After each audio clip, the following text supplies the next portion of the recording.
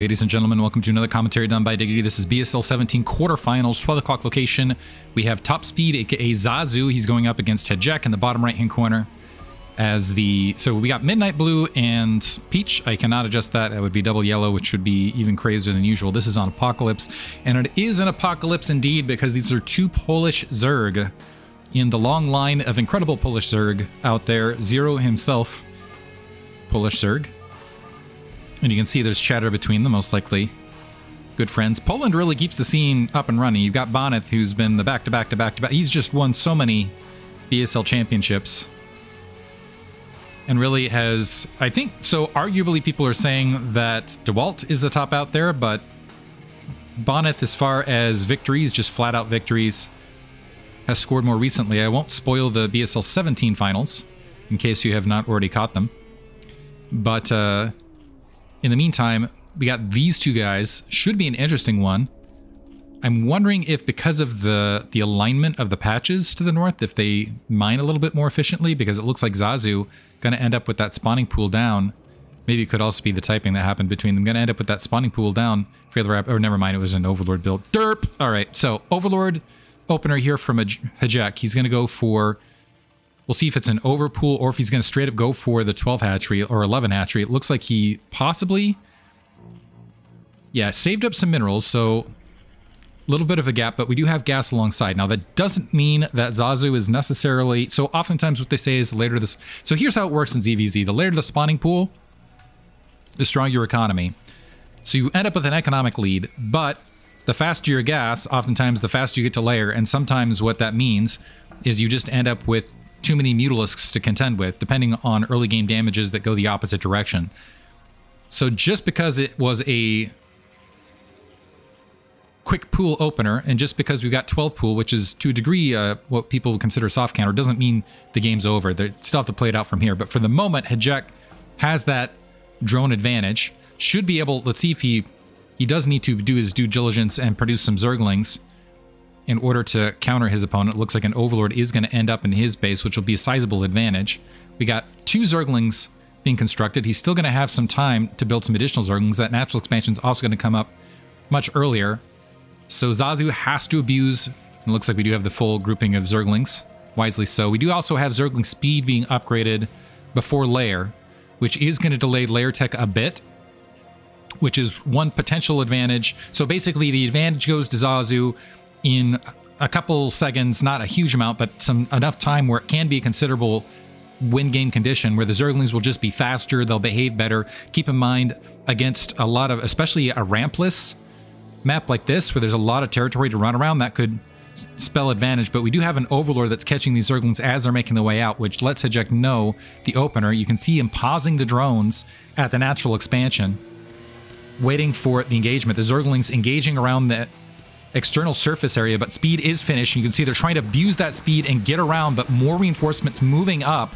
Currently, it looks like Hejek is in fact defending. We got two drones, however, on the line and two Zerglings remaining. So let's see if that drone that drone advantage holds. We also have more Zerglings making their way down. Two additional Zerglings have been produced. The four Zerglings that have now grouped up, running free between both locations, a tech to lair both directions, but the lair up much more rapidly for Zazu. A drone goes down, that actually evens up the drone count, but there's a lot more gas in the bank for Zazu overall. Keep in mind he is down a hatchery, but he this hatchery hasn't done anything for Hejek as of yet. The Overlord also going to be see, uh, able to see spot the exact amount of Zerglings that are being produced, at least to the main hatchery. They don't have eyes on the natural expansion. Zazu dropping that Spire, which puts him down a drone, but that's going to allow him to leverage into Spire Tech all the more rapidly. Zazu hiding some Zerglings to the north, which would punish Hejek if he dedicates all of his Zerglings to the main. And it looks like that is in fact what he's doing. So he's going to have to rely on reinforcing Zerglings or drones to potentially defend themselves. The Zerglings moving out to mid-map, they are going to engage. Zergling speed is there both directions. It looks like there's a slightly larger army, but if Hejek can dive into this, a Sunken Colony being built, if he can dive into this, he can force Larva to be spent on Zerglings rather than Mutalisks, potentially as the Spire is out there. A single Zergling gets tapped. The Zerglings have moved in the natural expansion and taken out a drone. Trying to work on a second drone already. We do have some additional Zerglings being built, but it's going to be a minute. Now, Hejek losing mining time. did manage to pick off a Zergling. The drone's doing good job defending themselves, but this is also time that's minerals not in the bank, which allows Zazu to continue to get that time and also potentially build that larva count. Hejek not out of it yet. Two more Zerglings now moving. We don't have any additional Zerglings out in open field. Spire is up. We have the initial Mutalisks being built Keep in mind, Zerglings do not attack air, so this could be a devastating situation. We have the lair up on the opposite end, but now does Hejek fold back to Evolution Chamber? He is dropping an Evolution Chamber. Zerglings engaging on Zerglings. Zazu forcing the engagement to try to thin the herd to open up opportunity. A few of the Zerglings try to peel out, but engaging some reinforcements and getting surrounded, and that's going to leave 10 Zerglings out in the field that could swarm the Sunken colony, but the Mutalisk is in fact there. So now the Zerglings here just trying to buy time to get the evolution chambers in place. But with that gas down, that's a lot of time. That actually could even things up just straight, just heads up. Because with that gas down, that means Zazu cannot expend any additional.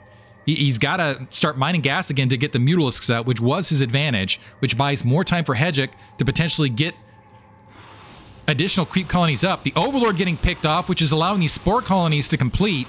Hejek was a little bit behind on this. He's got two there. He's got one in the main. It looks like it's picking away at that Overlord. If that, we're going to keep an eye on that Overlord to see whether it gets picked off. One of the Mutalisks taking damage. The Overlord, in fact, did die, and that is a huge swing at events because now Zazu is now supply capped. He's got two damaged Mutalisks, and he's just now having to recap that gas, which is going to allow Hejek to go ahead and get his own Spire up potentially and get some time to catch things up. So he's got this natural expansion running. He's got the economic lead. He's got some spy, uh, the spire, sorry, spire, the spores to defend.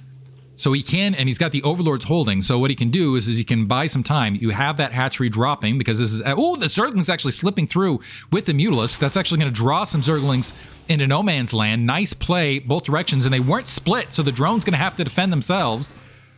The Mulus doing a great job of splitting both locations using the surf. Oh, and able to pick off an additional drone. Every little bit matters. The Zerglings actually marching out, recognizing the Mulisks are covering no man's land and they might be able to pick off that hatchery in open space. We have a few additional Zerglings being built, but that will force the Mutalisks back. It looks like Zazu recognized his heir in position. He's going to draw all the way back. Now, does Hejek yeah, it looks like he's going to focus on this hatchery, try to get as much damage there as possible. The Mutalisks grouping up. The Zergling's now going to retreat. Are they going to try to pick down that extractor once again? Zergling's coming to try to assist. But behind this, Hejek is going ahead and macroing up. He's got a sizable economic lead if he can get just get that Spire up and equalize the Mutalisk count. So right now, Zazu with this, oh, and additional Zerglings folding forward, about half the damage done on the hatchery right this second. So some attacking both directions. These Zerglings going ahead and retreating. It looks like these might just get sacked and try to keep an eye on things otherwise. Spire dropping right alongside that spore colony, so it, although this is a precarious location, that means Hejek is in fact going to have to defend this against potential Zergling all-ins and Mutalisk groupings. If that gets picked off, that could be a big swing around moment for Zazu. It could be that Hejek is anticipating that and is trying to encourage that behavior to end up with a, a sort of some sort of trade maneuver but we've got 500 resources in the bank, plenty of larvae to work with, and that's going to be an instant 5 Mutalisks to potentially to catch up to the 6. We also have plus 1 armor being upgraded. On top of that, Hejek recognizing he's going to need a little bit of additional defense to try to equalize things, but the Zergling's moving forward, and again, that Spire is somewhat vulnerable. Looks like Zazu just going to skip it. He's able to pick off yet another drone. The Zergling's trying to move in. The Mutalisks once again able to pick off the Zerglings in no man's land. The additional Mutalisks have not spawned anywhere in between, but the Spore able to get some damage. The Mule's now there to help defend the natural expansion. Still a sizable economic lead for Hejek to try to catch up and close the air gap. Which sounds like a air gap. That sounds like a new store that should be produced by Nike alongside with everything else.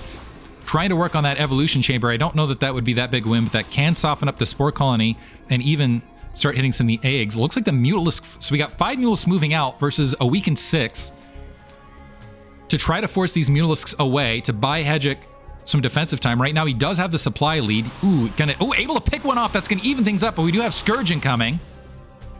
It's causing Hejek to retreat. He was able to pick one off. Another Mutalisk moving up to reinforce, and this could be the game shift moment here between the two. It looks like it is going to be very, very close. It looks like the focus fire was better on Zazu's part, so he is going to end up with three Mutalisks remaining, but one of the, oh, two of them are very, very weakened.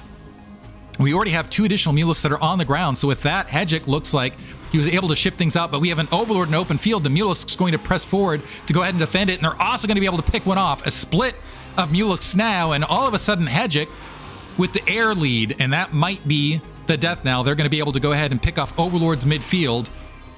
We have, we did have a surge in drones behind this. Another Mule's being taken out in midfield, but it doesn't look like it's going to be sufficient. With plus one armor nearly complete, Hejek may have sealed the fate here, dropping a third hatchery in base to try to have available larvae to continue production. Since he's got a sizable economic lead, we have another five Mutalisks out versus six, but keep in mind that armor, that plus one armor is going to finish in not too long. We also have some additional Scourge between this. A Zergling just scooting out Going to go ahead and check whether a third went up in the meantime. That would have been one of the opportunities for Zazu to catch things up. Finds that the third is not in place, recognizes, recognizes that it was just an attempt to rebuild the army. And is Hejek going to press forward? Here's the thing, he doesn't need to. He knows he's in a superior position, but is he going to press that advantage? So starting to move out as that plus one armor finishes, some Scourge skirting in between. They might suicide into an Overlord to try to force a supply cap, but really what they want to hit is these Mutalisks in open space. Right now, no vision on either side. I believe they're superior Mutalisks. Yeah, it looks like one Mutalisk up right this second, and a few additional Scourge for Zazu. But I do believe that plus one armor negates that single Mutalisk deficit. Another creep colony getting dropped. Yeah, Hejek recognizing he's in the superior position that his opponent has to come to him. So Hejek instead defending, allowing his opponent to try to force the battle, and he's going to go ahead and wander out a drone to go ahead and try to grab his third. And this is actually huge. If he can get that down and get it a, a decent amount of health, some Scourgers spotting it. We do have that Zergling that's on patrol, top left. Problem for Zazu, if he muses, if he draws some Mutalisks to take care of that Zergling, that could provoke Hejek to go for a counterattack. Plus one weapons on the way, by the way, for Zazu. I'm actually, I do not, so I, I believe plus one weapons because of the glaive, don't quote me on this, but I believe because of the glaive, it might actually end up negating to a degree the armor. I don't know if any math has been done on that. Don't quote me on that. This is something to ask your Zerg professionals like Urbmon, like Hawk. In fact, I, I need to make a note to ask that down the line. Is this okay, plus one weapons versus plus one armor, Mutalisks, does that end up negating because of the glaive uh, bounce advantage? But that's going to play a factor. We might see here momentarily. Right now, Hejek still building on that economic lead, dropping a Sunken colony, recognizing he has a little bit to spare. Some Zerglings working on that hatchery to the top right. That is going to force the mules to the mid-map. Hejek getting caught a little bit out of position. And that hatchery down at half health, now re-engaging. He might have wanted to just check whether it was plus one or not. And it, it looks like Zazu going to have the better of it, but it's a closer reinforcement point. Is he going to get there in time to save the hatchery? That's going to be a down 300 resources. I don't know that it's going to matter. So the hatchery's gone, but the air fleet is also gone for Zazu, and that there's a formidable amount. The Zergling's trying to suicide in. There's plenty Zerglings in the opposite side, and I'm going to... Su so let's see if Zazu, because it's a tournament situation, forces the the issue, but that should be GG. Hejek just needs to attack on multiple fronts. There isn't enough I don't believe there's enough as long as there's constant reinforcement. There's some overlords that should get picked off. They're not going to be able to defend at all places. And on top of it, plus two armor just about to complete. So Hejek now picking away at the overlords, inviting that army of Zazu forward. And some nice micro. Looks like he's going to back off. He is down a Mutalisk. But Zergling's also stacking up. Unfortunately, they're they're waiting. Okay, now they're engaging. So while the Mutalisks are grouped up here. It looks like that battle actually, Hejek wasn't microwing for a half second there. So it's a reverse wipe. What happened? But the Zerglings now scattering. They've taken out the hatchery in between. And I don't know that these Mutalisks are going to be able to punch through the reinforcements and three hatcheries worth of production. So the Zerglings have managed to, to halt the gas production. They're working on the spawning pool. Looks like they are. They gonna? It's gonna be close. Six health. Six health remains on that spawning pool. But the damage are there. There's Uh, is the Zergling going to get there? Not quite. But the gas is still down, which is enormous right now because there was already that sizable economic lead. Another third hatchery getting dropped, and the Mutalisk count has immediately refilled off these three hatcheries. So superior amount of larvae, superior amount of gas, and Hejek, I believe, has won it at this stage. We got one more attack moving forward. A few Zerglings getting picked off. But honestly, this is maybe just a posturing maneuver for Zazu. He's trying to sneak a hatchery at the 9 o'clock location. He is going to dive into the main. Might get an... Oh, manages to get an Overlord to force a supply gap or something, but we have more Zerglings marching their way across. They're not going to find anything at the natural expansion. A Spore Colony also joining this, so that's going to be another reset Air Force as plus two weapons is finished, and Zazu recognizes it, so an intense game one, but it goes to Hejek. Overall, hope you guys enjoyed it. That was a exciting one. Thank you for listening.